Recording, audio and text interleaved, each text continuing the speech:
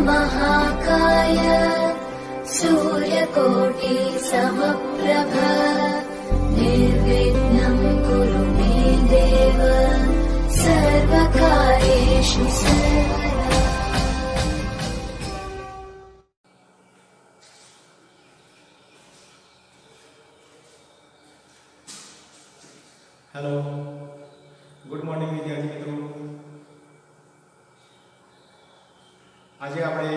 અંગ્રેજીમાં grammar, ગ્રામરમાં article the વિશે માહિતી મેળવીશું ગયા વિડીયોમાં તમને આર્ટિકલ એ અને એન વિશે માહિતી આપેલી છે. તમે નોટબુકમાં ઉતારેલી પણ હશે. એક્સરસાઇઝ પણ આપેલી છે. એ એક્સરસાઇઝ તમારે નોટબુકમાં લખેલી પણ હશે. તો જે રીતે આપણે એ અને એન આર્ટિકલનો ઉપયોગ સમજ્યા હવે આપણે આર્ટિકલ ધનો ઉપયોગ પણ સમજવાનો છે. તો સૌપ્રથમ આપણે જાણીએ કે આર્ટિકલ ધ ક્યારે વાપરી શકાય? તો આર્ટિકલ ધ એ નિશ્ચિત આર્ટિકલ છે. અંગ્રેજીમાં એને ડેફિનિટ આર્ટિકલ પણ કહેવાય છે. ડેફિનેટ આર્ટિકલ એટલે કે નિશ્ચિત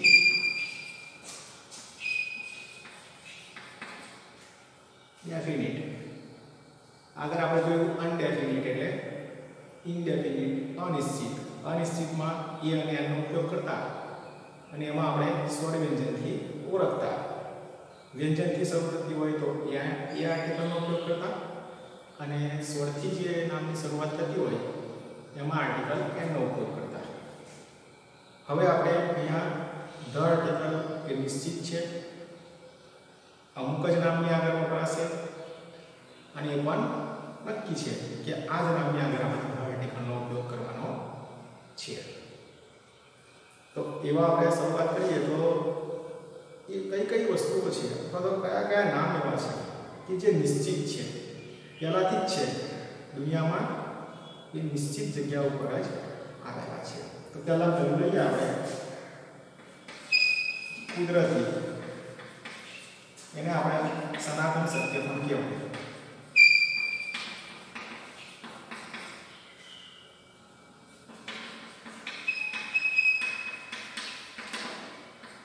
કુદરતી જેને કહીએ આપણે, જે ભગવાને બનાવેલું છે, કે જે દુનિયામાં એક જ છે.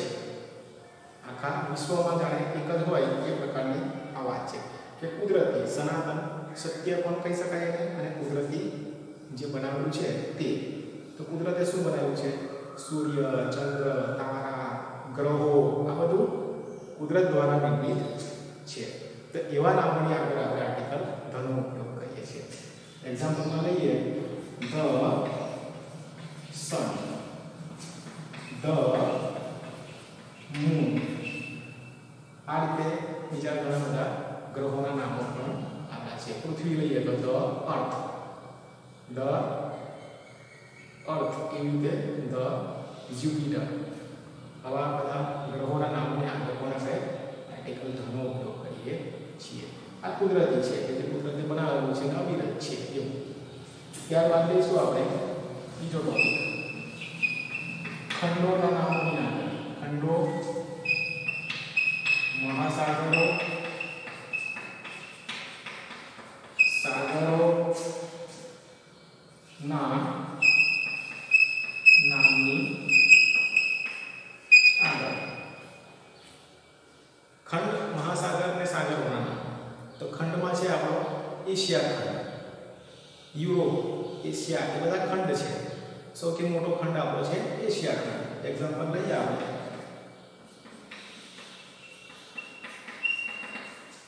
The Asia. આપણો સૌથી મોટા મોટો ખંડ છે. પછી ધ યુરોપ. આ ખંડ છે. તો ખંડના નામની આગળ પણ આપણે આર્ટિકલ ધનો ઉપયોગ કરીએ છીએ. સાગરોના મહાસાગર તો the Arabian sea.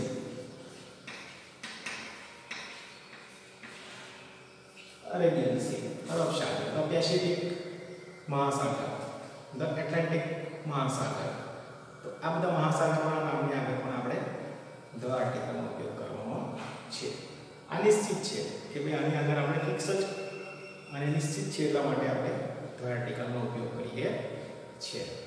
તો આ રીતે આપણે આ બીજો ઉપયોગ જોયો છે. પછી વાત કરીએ તો દિશાઓના નામની આગળ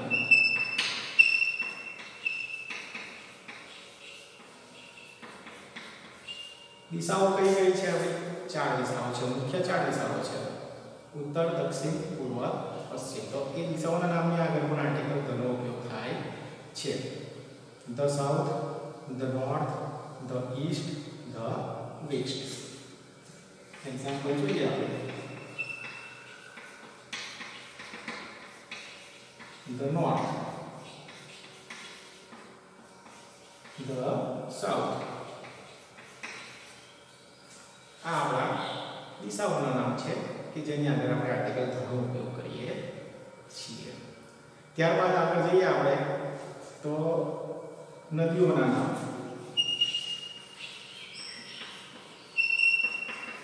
નદીઓના નામની આગળ એક્ઝામ્પલમાં લખું છું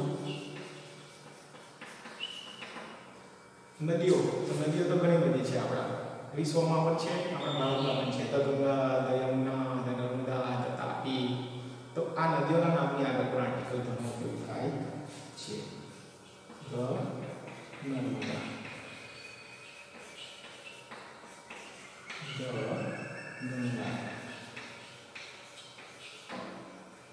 તો આ નદીઓના નામની વાત કરીએ એ નદીઓના નામની આગળ પણ આર્ટિકલ ધનો ઉપયોગ થાય છે વિદ્યાર્થી મિત્રો આ તમારે નોટબુકમાં લખવાનું છે વિડીયોને પોઝ કરીને સ્ક્રીનશોટ કરી રાખો જેથી કરી તમને લખવામાં અનુકૂળ થાય. અહીંયાથી હવે આપણે આગળ અભ્યાસ કરીશું.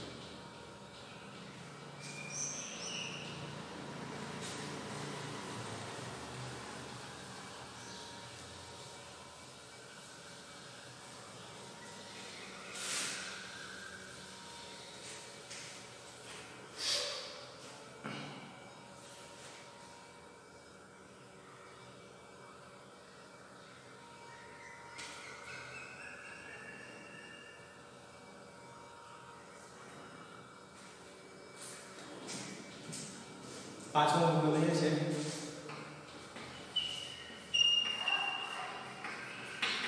પર્વતોના નામની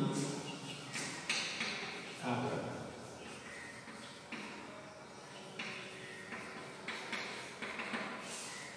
પર્વતોના નામની આગળ પર્વતો કયા કયા છે? Himalaya, the Himalaya, Girnar, the Girnar.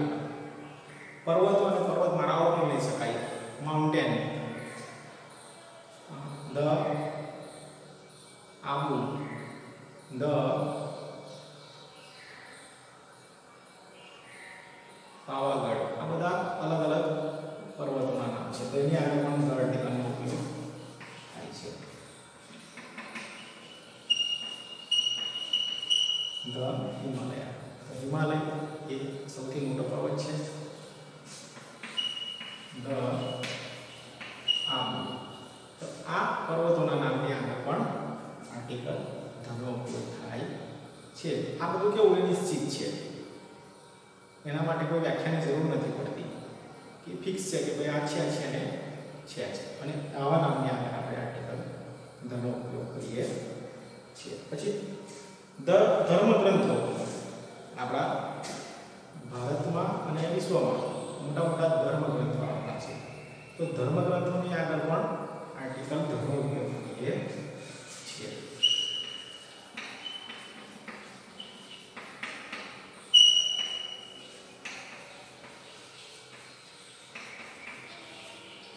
વિદ્યાર્થી મિત્રો અહીંયા આપણે જોઈએ કે ધર્મગ્રંથો એટલે એક્ઝામ્પલમાં છું ધ ગીતા. ગીતા એ આપણો સૌથી મોટા મોટો ધર્મગ્રંથ છે ધ રામાયણ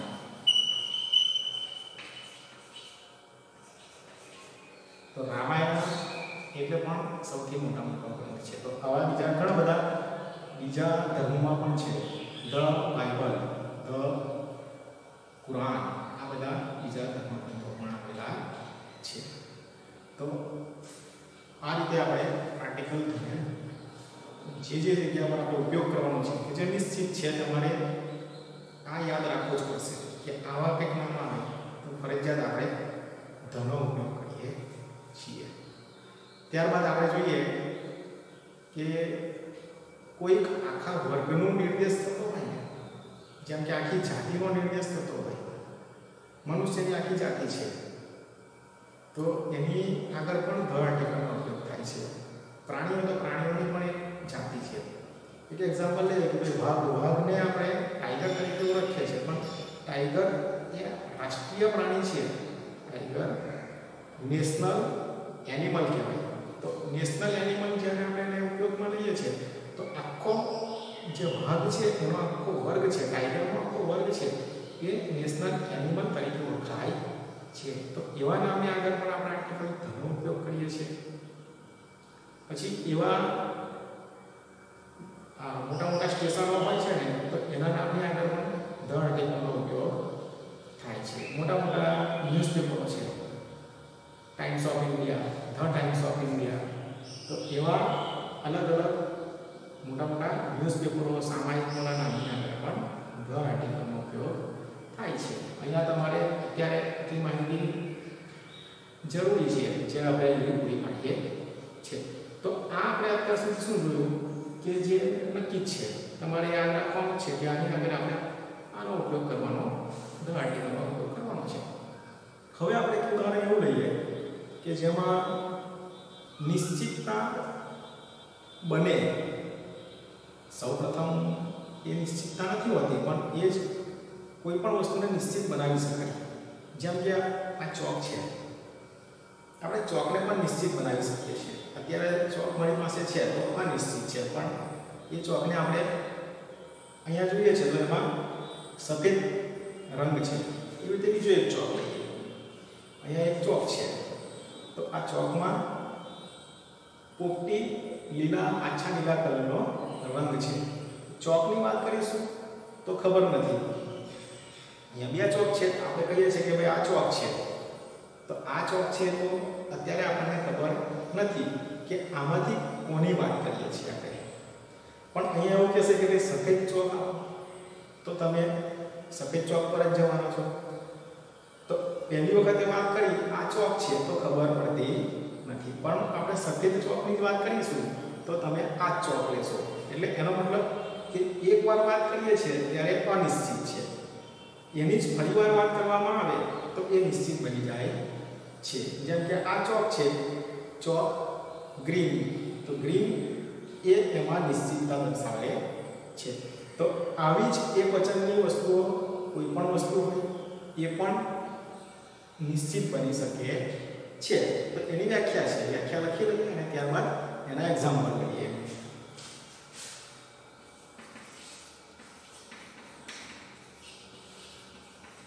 કોઈ પણ વસ્તુની એકવાર વાત કરીએ અને તે જ વસ્તુની બીજી વાર વાત કરવામાં આવે ત્યારે આવા નામની આગળ આર્ટિકલ ધ મુકાય છે તો અહીંયા તમે આની વ્યાખ્યા સમજી લો કે કોઈ પણ સામાન્ય નામનો પ્રથમ વાર આપણે ઉલ્લેખ કરીએ છીએ તો પહેલી વાર આપણે એને કહીએ છીએ ત્યારે અનિશ્ચિત હોય છે એ જ વાતને આપણે ફરી વખતે એના વિશે જ વાત કરીએ તો બીજી વખતે એ નિશ્ચિત બની જાય છે જેમ કે પહેલી વખતે વાત કરીશું તો અ અથવા એમનો ઉપયોગ કરીશું કારણ કે અનિશ્ચિત છે આગળ આપણે સમજી ગયા છે કે આર્ટિકલ એ અને એને અનિશ્ચિત છે એવી રીતે આમાં બીજી વખતે વાત કરીશું તો આર્ટિકલ ધ બનશે એક એક્ઝામ્પલ લઈએ છીએ આપણે અહીંયા This is an elephant.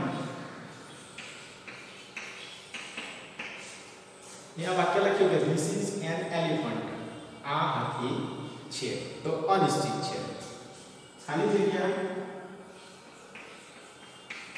elephant is huge animal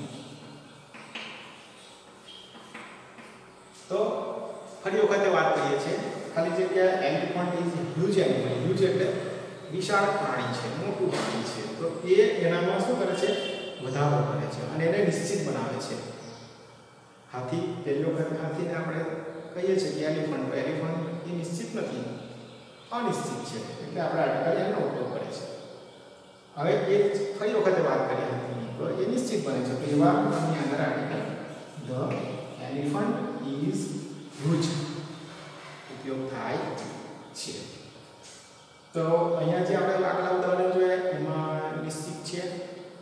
એના વિશે આપણે માહિતી મેળવી અને આપણી પાસે કોઈ વસ્તુ છે, એને પણ આપણે નિશ્ચિત બનાવી શકીએ છીએ.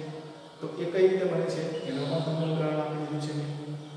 ચોકના એક્ઝામ્પલ આપ્યા છે. એવી રીતે તમે બીજા પેનના પણ ઉદાહરણ લઈ શકો છો, ટેબલના પણ લઈ શકો છો. કોઈ આકાર, કોઈ રંગ, એ બધા વિશેષણ છે. એબ્જેક્ટિવ્સ કહીએ ને આપણે. વિશેષણ શું કરે? વિશેષણ એ નામના અંદર વધારો કરે છે અને એને નિશ્ચિત બનાવે છે. તો આ માહિતી અહીંયા સુધી આપણે તમારી નોટબુકમાં લખવાની છે. વિદ્યાર્થી મિત્રો, આના આધારે તમને સમજણ પડી ગયો હશે અને હવે આના વિશે હું તમને ખાલી જગ્યાઓ આપીશ, જે ખાલી જગ્યાઓ તમારા નોટબુકમાં જાતે જોવાની રહેશે. આશા રાખું છું આ વીડિયો તમને ગમ્યો હશે. Thank you good bye